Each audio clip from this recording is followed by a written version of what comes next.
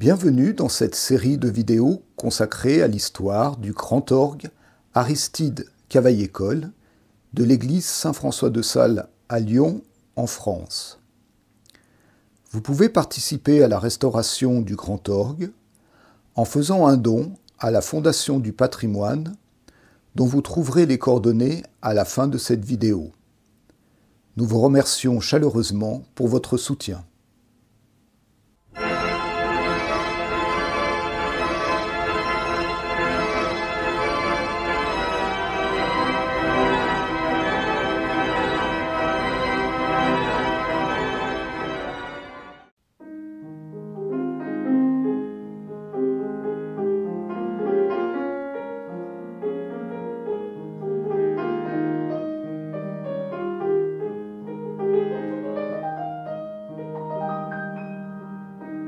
Lyon, le quai Saint-Antoine. Les bords de Saône sont redevenus calmes après les grandes inondations de 1840. À droite, la cathédrale Saint-Jean-Baptiste.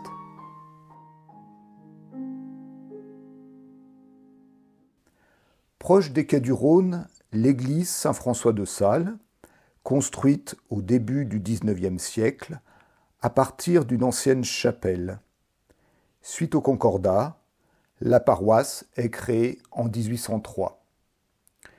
Depuis 1833, la musique liturgique était assurée par cinq chantres accompagnés par un joueur de serpent.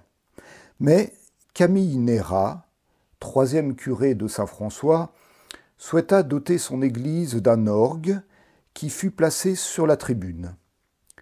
Il choisit Joseph Calinet, facteur d'orgue à Roufac en Alsace, pour son talent et sa probité, mais aussi parce que le facteur lui accordait de longs délais de paiement. En effet, la Bénéra finança lui-même la construction de l'instrument. Calinet commence à monter son orgue début septembre 1838 et la réception de l'instrument est annoncée pour le mardi 27 novembre. Jean Vidor, facteur d'orgue et employé chez Calinet, participe au chantier. Sans doute est-il assisté par son fils François Charles, lui-même formé à la facture d'orgue. Cet orgue de quatre claviers et d'une quarantaine de jeux est l'un des tout premiers à être installé dans une église catholique lyonnaise depuis que la Révolution de 1789 a détruit les instruments de la ville, situé principalement dans les couvents. Premier orgue de Saint-François, l'instrument sera un élément fondateur pour le développement des orgues à Lyon. En effet, on trouve dans les archives de l'église Saint-Polycarpe le brouillon d'une lettre datée du 7 juillet 1839 où il est question de rivaliser avec l'orgue de Saint-François. Ainsi, les grandes paroisses lyonnaises se doteront d'un instrument. Saint-Polycarpe et la cathédrale en 1841, Saint-Bonaventure en 1845, Saint-Potin en 1846 et encore bien d'autres. Sur la recommandation de Joseph Calinet, François-Charles Vidor, né le 28 mai 1811 à Roufac, en Alsace, devient le premier organiste de Saint-François. Il est présenté comme l'un des élèves les plus distingués du pianiste Henri Hertz et comme un jeune homme pieux qui comprend bien ce que doit être la musique religieuse de l'Église. Depuis 1833, François Charles était organiste à l'église paroissiale de Grès, dans le département de la Haute-Saône. En s'installant à Lyon, il bénéficie d'un salaire plus important, peut profiter de la vie culturelle d'une grande ville et trouver facilement de nombreux élèves. En 1842, il épouse Françoise Élisabeth Perron. Trois enfants naîtront de cette union, Charles-Marie, Paul et Marie.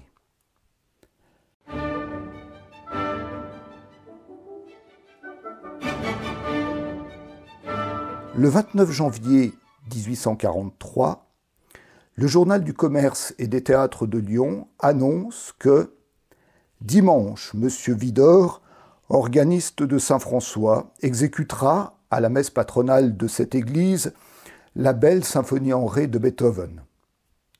Formé pour l'orgue par Charles Kienz, musicien autrichien, organiste à Gebwiller en Alsace et ancien élève de Michael Haydn, François-Charles Widor est sans doute aussi à cette époque, peut-être même avant Boélie, l'un des premiers organistes à jouer la musique de Johann Sebastian Bach dans une église catholique française. Avec son pédalier à l'allemande de 25 notes, l'orgue calinet de Saint-François le permettait, ainsi que l'acoustique de l'église, pourvue alors d'un plafond à caisson en bois. L'abbé Néra l'évoquait déjà en 1831. Le plafond, remarquable par sa richesse, ne présente aucun des inconvénients qu'on avait redoutés et ne nuit point à la voix des orateurs sacrés. 1844 est une année importante pour François-Charles Vidor. Le 21 février, c'est la naissance de son premier fils, Charles-Marie. De passage à Lyon, le grand pianiste Franz Liszt rend visite à notre organiste le 11 juillet. Le journal La Clochette s'en fait l'écho. Jeudi dernier, Franz Liszt s'est rendu à l'église Saint-François pour y entendre les magnifiques orgues si habilement conduites par M. Vidor qui a joué plusieurs morceaux avec le rare talent qu'on lui connaît, et que l'illustre pianiste a hautement approuvé dans les termes les plus flatteurs. Liszt s'est ensuite fait entendre lui-même et a exécuté quelques fragments avec une perfection dont il est inutile de rien dire. Enfin, au mois d'octobre, François Charles monte à Paris. Le journal Le Ménestrel annonce c'est jeudi prochain, 17 octobre, que se réunissent à Saint-Eustache les artistes amateurs du beau talent de M. Vidor, compositeur distingué et organiste de Saint-François de Lyon. Cette petite solennité sera une espèce de consécration de notre nationalité musicale, car M. Vidor paraît ne le céder en rien pour le jeu des pédales au célèbre SE de Breslau. En effet, Quelques mois auparavant, le célèbre organiste allemand Adolf Hesse avait inauguré le grand orgue de l'église Saint-Eustache, où il fit sensation en interprétant la toccata en fa majeur de Bach. François Charles se produit également comme pianiste dans des salons de la capitale. On dit que son jeu, un peu froid, tient de l'école allemande. Il profite de ce séjour parisien pour se rendre à l'église luthérienne de la Rédemption, dans le 9e arrondissement.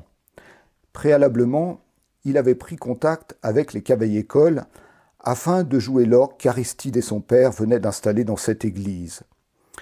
Recommandé par le chevalier Neukomm, un élève des frères Haydn, François-Charles Vidor est reçu par Vincent Cavaillé-École, le frère d'Aristide, mais la visite se déroule comme une scène d'opéra bouffe. Tout d'abord, le concierge de l'église refuse de donner les clés de l'orgue, puis il menace d'appeler la police lorsque Vincent Cavaillé-Coll rentre dans l'instrument pour réparer un cornement. Et enfin, la femme du concierge arrive pour se plaindre qu'elle est battue par son mari. Mais revenons à Lyon. À l'hiver 1845, commencent d'importants travaux dans l'église Saint-François. L'orgue Calinet est démonté. François Charles, qui enseignait le piano au collège des Jésuites, aujourd'hui lycée Ampère, assure alors le service liturgique à l'orgue de la chapelle du collège. Sur cet instrument, il donne une audition le jeudi 11 février 1847, au cours de laquelle il interprète une symphonie de Beethoven. Quelques années plus tard, c'est Charles-Marie qui tiendra les claviers aux offices afin de payer ses études au collège. Construit par Claude Ignace Calinet, le frère de Joseph, cet orgue sera transféré en 1920 à l'église abbatiale de Saint-Chef, dans le département de l'Isère. Quant à l'orgue de Saint-François, il était toujours entreposé dans les combles de la sacristie en avril 1850. Le conseil de fabrique s'en émeut, craignant que l'instrument ne se détériore de plus en plus. Dès ce moment-là, la vente de l'orgue Calinet est évoquée en vue d'acquérir un orgue d'accompagnement. Des tensions apparaissent entre Joseph Calinet et le conseil de fabrique de Saint-François, le facteur d'orgue ayant, semble-t-il, fait preuve de négligence lors du démontage de l'instrument.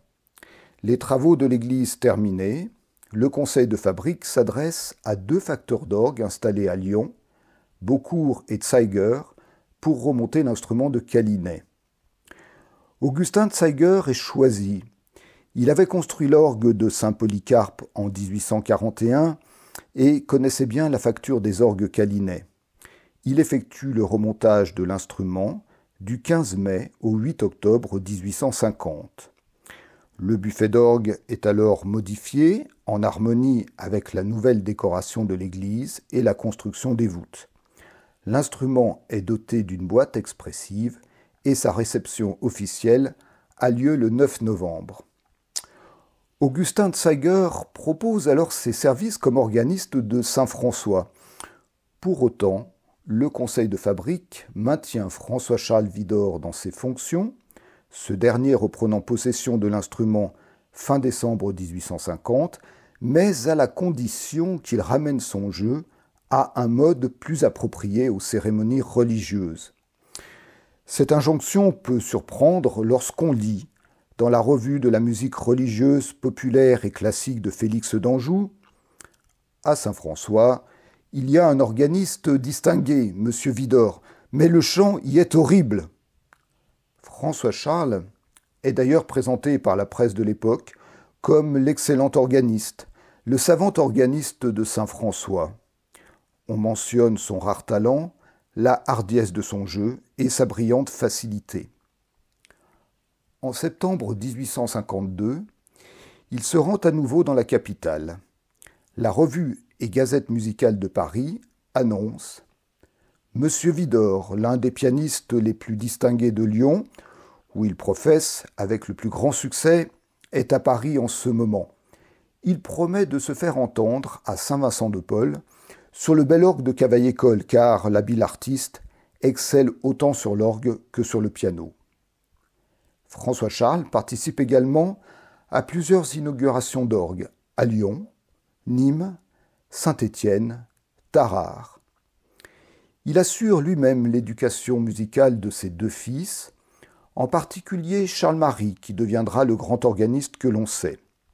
Ce dernier écrit dans ses souvenirs autobiographiques J'étais à peine âgé de quatre ans lorsque mon père me mit, pour la première fois, les mains sur le clavier de l'orgue, commençant ainsi mon éducation musicale. Plus tard, J'allais chaque soir travailler sur l'instrument de Saint François, m'attaquant avec ardeur à la rude technique de l'orgue et me pénétrant sous les voûtes de l'Église de la grandeur incomparable de mon art. Un document émouvant est cet adagio pieux composé en 1856 par François Charles à l'intention de son fils âgé de onze ans qui joua cette pièce à la grand-messe de Saint François.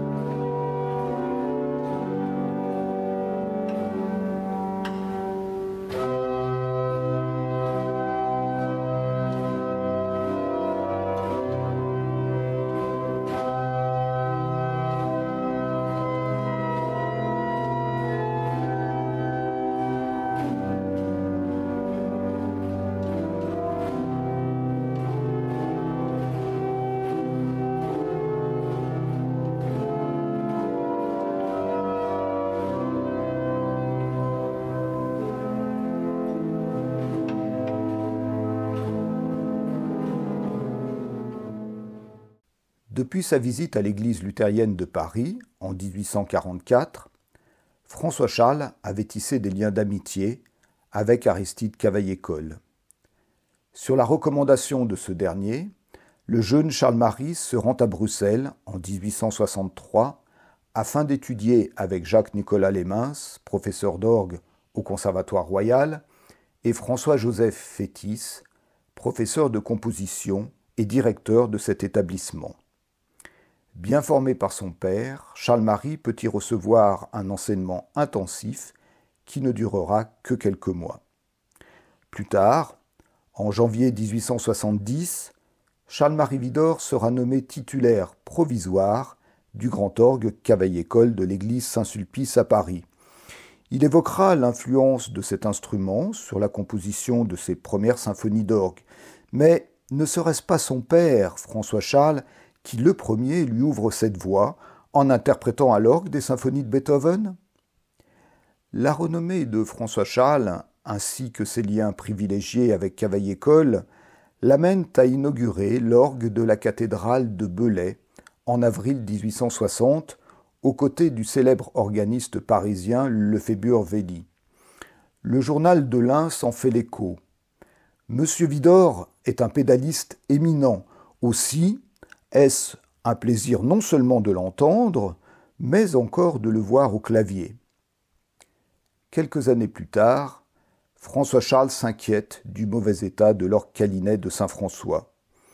Il alerte le conseil de fabrique en séance du 5 janvier 1864.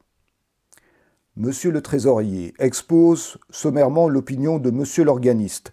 Savoir que le mécanisme de la soufflerie et d'une partie des jeux est arrivé à un tel point de détérioration qu'il ne peut fonctionner au-delà de quelques mois et qu'il exige une prompte et importante réparation. De plus qu'il serait convenable, en faisant ce travail, de mettre l'orgue en rapport avec les perfectionnements introduits dans cette sorte d'instrument et de le compléter par l'adjonction de jeux nouveaux.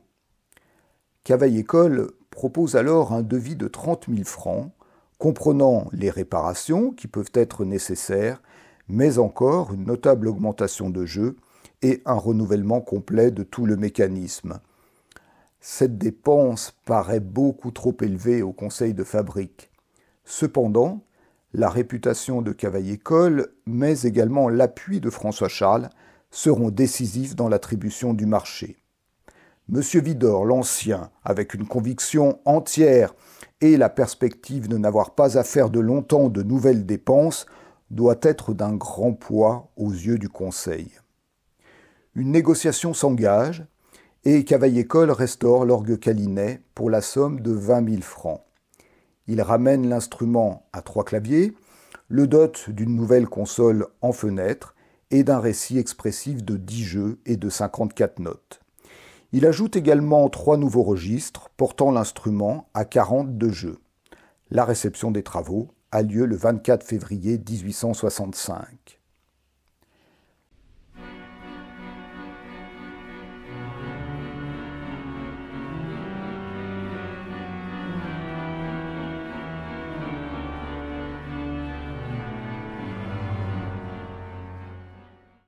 Durant la guerre franco-prussienne de 1870, le dépôt et l'enlèvement de sacs de farine dans l'église laissent une épaisse couche de poussière à l'intérieur de l'orgue. François-Charles Vidor alerte le conseil de fabrique en avril 1872. L'organiste précise que la détérioration de l'instrument est également due à la réparation du calorifère de l'église qui fonctionnait au charbon et à l'installation du gaz pour l'éclairage. En conséquence, M. Vidor demande qu'on fasse venir de Paris un ouvrier habile de la maison Cavaillé-Coll qui, en peu de jours, remettra facilement l'orgue en état. Cette demande est approuvée. Ces réparations ont-elles été faites? On peut en douter à la lecture du compte-rendu de la séance du Conseil de fabrique, daté du 3 novembre 1878. Un membre du conseil a vu à Paris M. Cavaillé-Coll, qui a fait l'orgue de Saint-François. Cet artiste a visité notre magnifique instrument où les années et surtout les farines entassées dans l'église ont laissé une épaisse couche de poussière. M. Cavaillé-Coll estime qu'il faudrait une réparation dont le prix ne saurait être inférieur à 3 ou 4 000 francs. Il a ajouté qu'il y a urgence. Lors de la séance du 11 mars 1879, M. de Prandière, chargé d'étudier la question, donne lecture de son mémoire aux membres du conseil de fabrique. Il confirme que l'orgue Calinet a besoin d'urgentes réparations. Plusieurs solutions avaient été envisagées, transférer l'orgue dans le cœur de l'église en supprimant une partie de l'instrument, ou le restaurer à nouveau et acquérir un orgue d'accompagnement. La construction d'un orgue de 30 jeux et de deux claviers avait aussi été évoquée. Ces solutions furent abandonnées. Le conseil de fabrique décida donc que des pourparlers sérieux serait engagé avec Aristide Cavaillé-Coll pour la construction d'un grand orgue de 16 pieds entièrement neuf en remplacement de l'orgue Calinet. Placé au fond de l'abside, le nouvel instrument servirait également d'orgue d'accompagnement pour la maîtrise que la paroisse projetait de créer. Le 20 mars, le président du conseil de fabrique peut passer commande à Cavaillé-Coll pour un grand orgue de 40 jeux et trois claviers. C'est l'instrument que nous admirons aujourd'hui. La famille Vidor offrait deux jeux supplémentaires. Sans doute, Charles-Marie a-t-il prodigué ses conseils pour la composition du nouvel orgue. Cavaillé-Coll s'engageait à reprendre l'orgue Calinet et à le maintenir en place jusqu'à ce que le nouvel instrument rentre en fonction. Quelques acheteurs se manifestèrent pour acquérir l'orgue Calinet, en particulier la paroisse Saint-Bruno de Voiron, dans le département de l'Isère. Elle mandata un expert, M. Henri Breton, professeur à la faculté de pharmacie de Grenoble, qui se rendit à Saint-François. Dans son rapport, l'expert décrivait un instrument de qualité et conseillait d'en faire l'acquisition. Pourtant, la paroisse de Voiron hésita, peut-être à cause de la vétusté de l'orgue, et aussi d'un manque de ressources financières. Les choses prirent plus de temps que prévu, et finalement, c'est le curé de Voiron qui paya lui-même l'instrument. Les deux orgues de Saint-François demeurèrent ainsi face à face pendant plusieurs mois, et peut-être davantage. Cette photo pourrait avoir été prise en 1880. On y voit l'orgue Calinet, encore présent sur la tribune, et, sous celle-ci, François-Charles Vidor, âgé, s'apprêtant à prendre possession du nouvel orgue Cavaillé-Coll. L'éclairage moderne de l'église trahit le photomontage que nous avons réalisé. À ce jour, nous n'avons malheureusement pas retrouvé de documents représentant l'instrument de Calinet.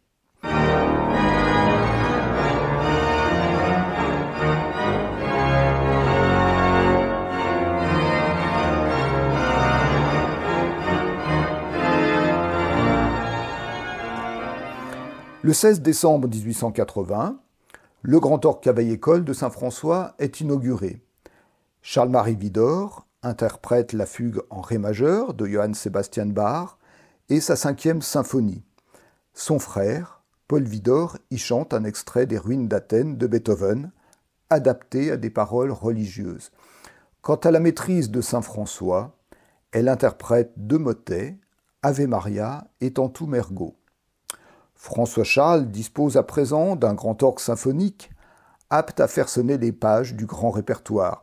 Mais en prenant possession du nouvel instrument, il change de métier et devient également organiste de chœur, nouvelle fonction qu'il aura du mal à assurer. En effet, les registres du Conseil de fabrique datés du 9 décembre 1884 nous apprennent que M. Vidorpère ne connaît pas le plein chant, il en résulte un désaccord bien fâcheux entre lui et la maîtrise.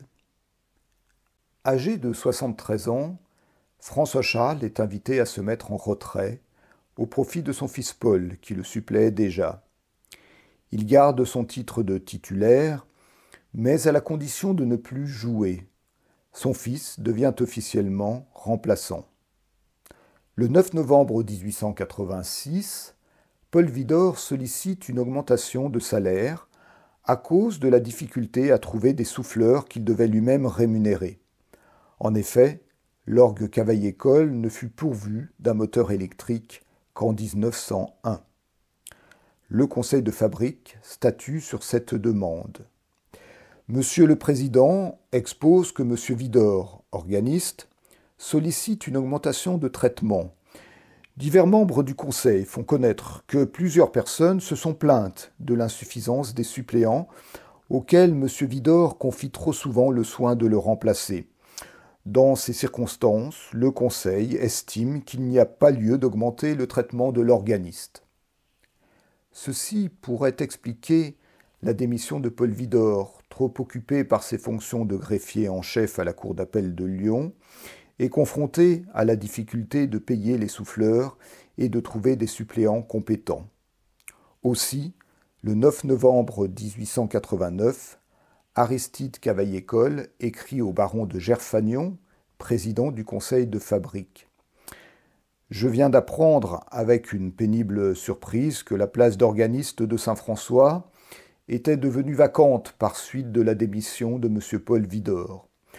Ce n'est pas seulement comme organiste que je regrette M. Vidor, mais ces messieurs, étant initiés de père en fils dans tous les détails du mécanisme et de l'accord des jeux, donnaient à l'instrument des soins intelligents et minutieux qui contribuent à la conservation de l'orgue. Je regrette donc, à tous les points de vue, la démission de M. Vidor. Vous souvenez-vous de l'organiste représenté en 1879 par l'architecte Alphonse Simil Ne serait-ce pas Paul Vidor qui, à ce moment, était âgé de 32 ans? Outre ses fonctions d'organiste à Saint-François et de greffier, Paul Vidor était également chanteur, comme nous l'avons évoqué, ce que devait apprécier le maître de chapelle. De plus, Paul Vidor s'était impliqué personnellement dans la création de la maîtrise de Saint-François, en donnant des leçons aux élèves de l'école cléricale de la paroisse et en s'assurant la collaboration de chanteurs confirmés. Quant à François Charles, le bon papa Vidor, comme l'appelait affectueusement Cavaillé-Coll, il s'éteint à son domicile lyonnais, rue Salat, le 6 avril 1899. Il laisse quelques pages pour orgue et des pièces de genre pour piano.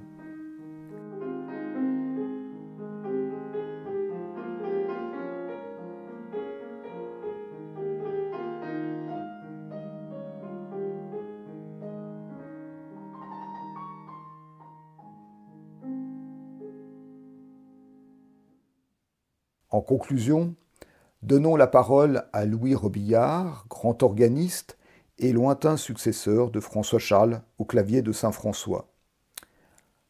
À la place qu'il a occupée dans cette église pendant cinquante ans, les responsabilités que François Charles Vidor a prises et les choix qu'il a pleinement assumés en matière d'orgue ont conduit à la présence à Lyon du grand orgue Aristide Cavaillé-Coll, chef-d'œuvre inestimable.